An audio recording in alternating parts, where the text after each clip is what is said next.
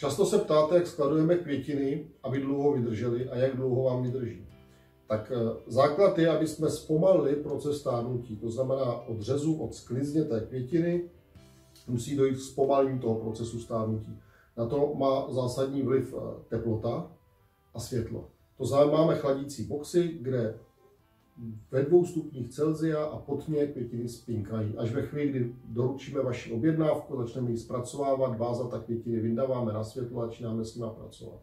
To znamená, pro nás je nejdůležitější, aby jsme měli celý proces dopravy a skladování pod kontrolou teplotně. To znamená v Holandsku z chladícího boxu, který tady máme na burze, do vychlazeného auta, k nám do chladícího centrálního skladu, v noci rozvoz chlazeným autem a kurýři, kteří rozvážejí našimi chlazenými vozy.